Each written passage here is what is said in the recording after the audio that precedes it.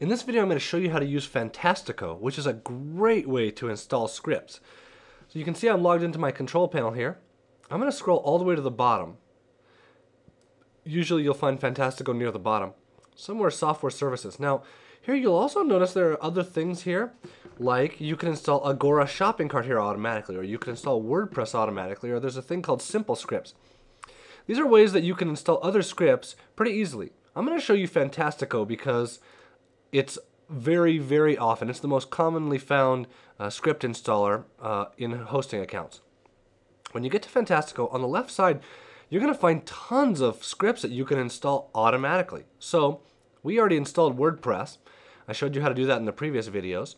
But here are other blogs that you can install, or here are other systems that you can install for content management. Popular ones are Drupal and Joomla. Here are customer relationship things, so support ticket managers. Here are uh, forums, PHPBB and SMF. Or here are uh, shopping carts that you can install automatically, or billing, or image galleries, or photo galleries, polls, project management. Lots and lots of things that you can automatically install by clicking a few buttons. So let's go install WordPress.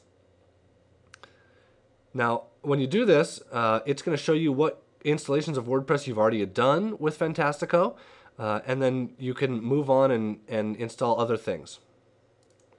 So to start a new installation, you're going to click the New Installation. We're going to put it on the demo that I already set up and showed to you earlier. We're going to install it in the directory. We're going to leave the directory blank. We just wanted to install it in the base directory. Now, I've already deleted the one that I showed you earlier in the other videos.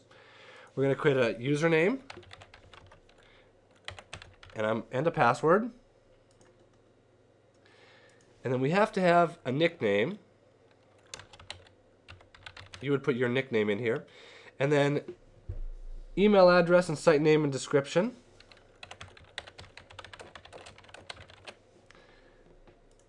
And click install WordPress. Now here, you're going to click finish installation. It tells you where you're going to find your, your site here. It's going to go through some stuff and at this point, you're done. It has installed WordPress for you. So that took about four clicks. At this point, you can also go to the URL. It's going to have you log in. There's the username and password I just created. And we can log into the site. Now we can visit the site and see we have it installed. So with that simple amount of work, you can install WordPress. Now you can install all those other softwares pretty similarly, uh, and and Fantastico will do it for you.